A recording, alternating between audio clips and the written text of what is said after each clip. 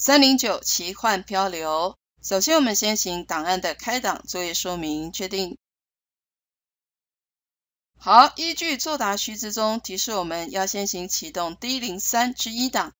好，第一题以该图片作为材质填满页面，所以由设计功能进入，选择页面色彩填满效果，材质填满，指定其他材质，档案进入，选择 C 磁碟机作业中 NS 路径。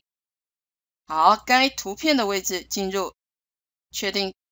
第二题加上该英文字串作为浮水印文字，所以透过浮水印进入，选择自定浮水印，文字浮水印，清除预设的文字内容，输入我们所需要的英文单字。请注意 L 及 P 要遵守大写，还有单字之间都要遵守空一格的动作。字形设定呢，指定为 Area Break 的一个字形，所以直接在此改变。好，完成作业后，行确定即可。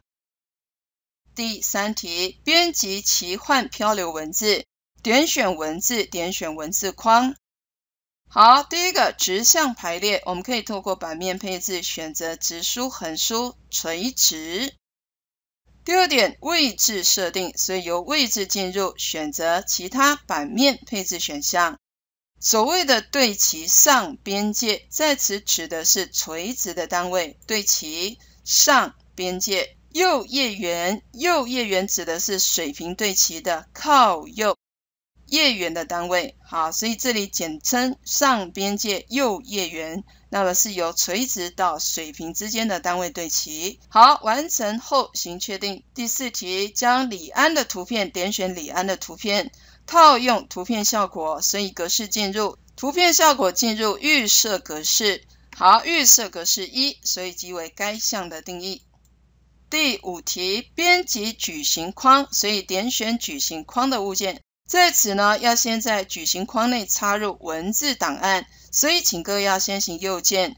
好，请注意右键的动作必须要在这个边框处点选右键啊，才能够显示新增文字这项功能。好，必须要有游标编辑的模式，如此才能够允许我们进行插入物件文字档的一个属性。题目要求指定 D 零三之二档，所以找寻题库路径。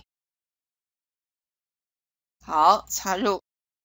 再次点选矩形框的属性。好，第一个直向排列，所以一样的版面配置选择直向。第二点呢，取消框线，所以直接由格式进入，取消外框设定，无外框。好，完成作业后存档评分。请注意档案的名称，题目仅要求要设定为 A 零三之一的文字，要记得删除储存。